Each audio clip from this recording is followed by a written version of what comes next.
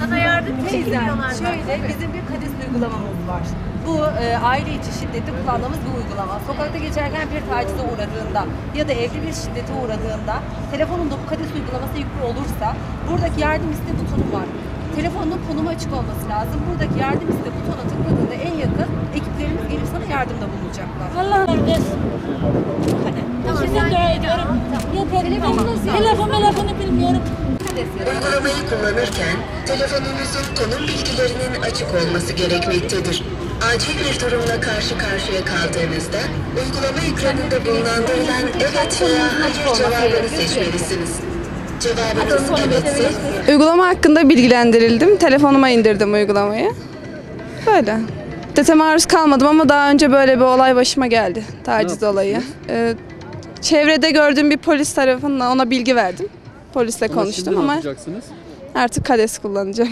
Bugün Emniyet Müdürlüğümüzün KADES uygulaması ile alakalı bir farkındalık oluşturmak için kendilerine destek oluyoruz. Uygulama kadınlara yönelik olduğu için e, denk geldiğimiz hanımefendilere uygulama ile alakalı bilgi verip telefonlarına Android veya iOS telefonlarına uygulamayı indirmelerini sağlıyoruz. Gün boyu e, 100 150-200 kişiyle temas kurduk. Getirecek.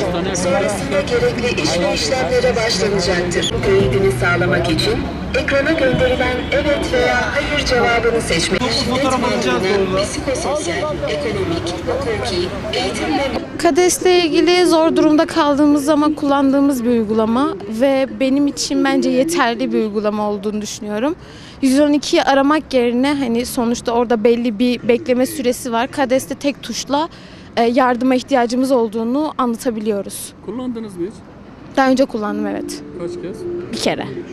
Yani yaklaşık bir 5 dakika sonra evimizin önündeydiler zaten. Geldiler. Evet. Ee, cebinizde var. Arkadaşlarınıza da tavsiye ediyor musunuz bunu? Evet tavsiye ediyorum kesinlikle. Kadınlarımızın fedakarlıklarıyla kurulan vatanımızda kadına yönelik her türlü şiddete karşı hukuk içerisinde mücadele etmek, sevgi ve saygıya dayalı değerlerle kurulmuş olan ülkemizde hepimizin sorumluluğunda.